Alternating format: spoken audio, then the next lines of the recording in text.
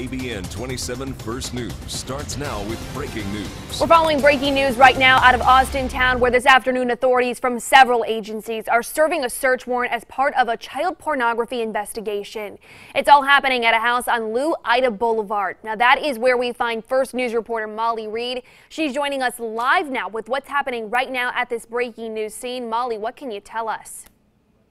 Yeah, Chelsea, and as you can see, this is still a very active scene. You can see that they're actually starting to tow the guy's cars away, and we are told that he was arrested and facing charges, and his name is Charles D. Krusak. He is 77 years old. Now, we don't know what charges he will be facing. However, what we do know is that police did find VHS tapes with child pornography on them inside the house. They also found possible production equipment. They also don't know how many kids were involved with this. They actually asked us to ask the public if you were been involved or if you know anything about this to step forward. However, they are not saying much more about that right now. We are told more search warrants are in the future. They are coming and they will be conducting even more investigations. They believe there's a much larger thing to all of us, but they did say that they have been investigating this house for the past two weeks. Now, we are going to be looking into what those charges will be facing. We're hoping that we will have that information this afternoon and we can bring it to you tonight on First News at 5. But for now, in Austintown, Molly Reed, WKBN 27 First News at noon. Chelsea?